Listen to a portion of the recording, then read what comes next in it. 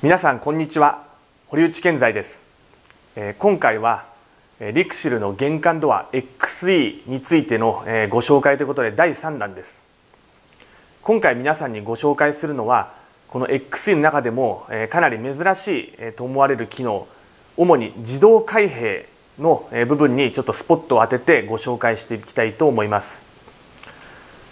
こちらの玄関ドア XE についてはですねスマートフォンや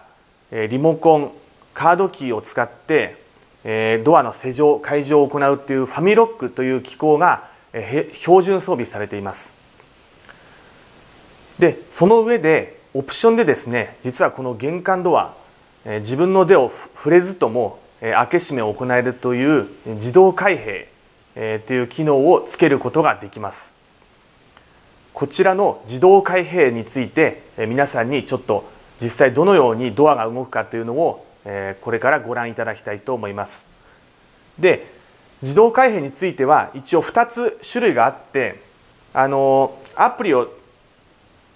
を、まあ、インストールしておくんですけどもそれを操作して鍵を開けるっていうのボタンを押して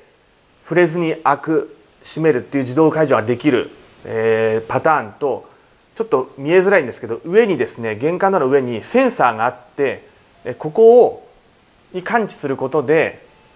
あの自動で施錠解除を行えるっていう2つあるんですが今回ご紹介するのはアプリを使って自動開閉を行うというものについてご案内したいと思います。それではですね玄関ドア XE のオプションの自動開閉について皆さんにぜひご覧いただきたいと思います。この自動開閉を使うにあたってですねここにあのリクシルのマイエントランスというアプリがあるんですけどもこちらをインストールしておきます。で現在このようにですね鍵が閉まっていますというような表示がされてますのでここで鍵を開けるというボタンを押すと自動開閉が作動します。じゃあ実際にちょっと押してみたいと思います。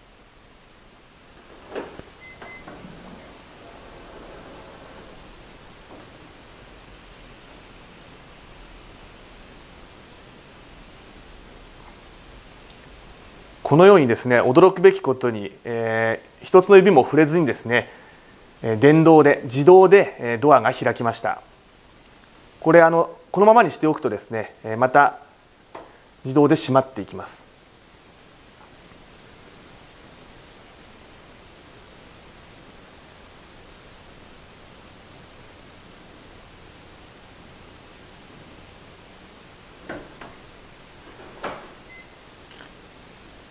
このようにですね自動で開閉が行われたわけなんですけども本当に自分の指や手を全く使わずに開け閉めが行われているのでもうちょっとびっくりですね。実際多分荷物を持っていたりする時なんかも非常にこれ便利に使っていただけるんではないかと思います。